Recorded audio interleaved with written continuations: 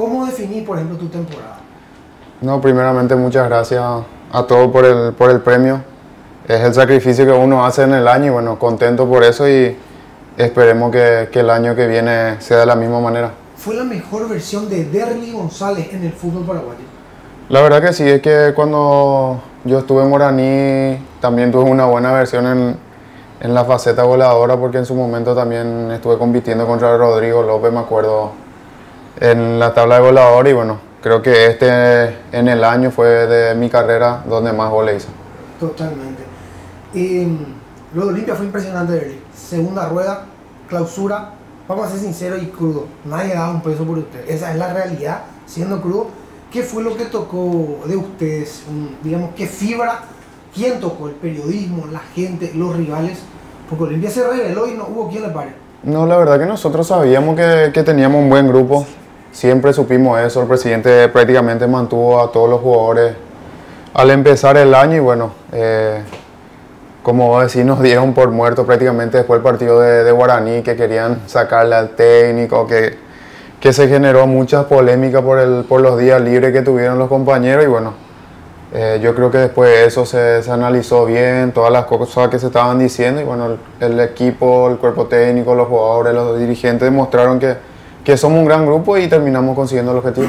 El presidente dijo, Derly se sentía culpable, se sentía en deuda con Olimpia. Es tanto así real, fue de la famosa deuda, vos futbolísticamente categórico que le devolviste, pero vos te sentías en deuda, ¿qué sentías realmente? No sé si culpable, ¿verdad? Pero sí tenía un peso encima porque se decían muchas cosas. Salían hasta dirigentes del propio club a, a decir muchas cosas y uno por más que no, no ve le llega la- las informaciones y bueno, eh, por ese lado a mí me, molestaba porque yo sé lo que, lo que el club invirtió por mí, pero, pero bueno, son cosas que, que pasaron. Eh, ya tratar de olvidar eso después que se pagó la deuda. Ahora enfocarse en lo que va a ser el 2023, porque yo aún tengo dos años de contrato y bueno, tratar de, hacerlo de la mejor manera como, como terminamos este año. Es lo que a preguntar. ¿Hay Derlis González para rato en Olimpia? Y yo tengo dos años de contrato aún. Si no viene una oferta que, que le convenga al club y, a- y al jugador, creo que tengo dos años de contrato aún para, para continuar. La Libertadores es la siguiente meta. Sí, para todo jugador que, que participa en el Club Olimpia, el primer sueño que tiene siempre es la de, de ganar una Libertadores. Me gustaría que vos, con mucha propiedad, obviamente, elijas tres jugadores fuera de vos que te sorprendieron. Igual si son tus compañeros o no son tus compañeros. De, de mi El compañero. fútbol paraguayo. No, no importa si es tu compañero o no tu compañero. Eso ya depende de vos. No, yo creo que tuvieron, la mayoría en el plantel del Club Olimpia creo que tuvieron un gran año. eh, empezando por Gastón, le tenemos a Richard que siempre está, a Marcos Gómez que fue para mí una revelación con Mateo Gamarra y prácticamente todo. Después Huito Fernández que levantó el nivel a lo último también y bueno, prácticamente todo. Después de otros jugadores, me, De otro club, por ejemplo, que te llamó la atención. eh, Bruera, buen jugador. También el queso le conocemos que es goleador y, y bueno, eh, Danilo que tuvo también un, un buen cierre de campeonato y creo que hay varios en, en ese sentido. volviste a la selección de. Era, yo sé que era tu obsesión, era siempre tu meta y tu ilusión de toda la vida. No, yo siempre estuve disponible para la selección. Eh, el problemita que pasó con, con Berizzo creo que en- se llevó a muy, a muy lejos, cosa que no, no tenía sentido, pero bueno, ya, ya pasó. Hoy contento por estar de vuelta en la selección y esperemos estar siempre.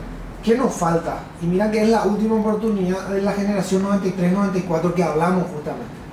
No, y yo creo que prácticamente para esta camada sería la última oportunidad que tenemos la de clasificar y, y esperemos que se pueda dar porque buenos jugadores hay.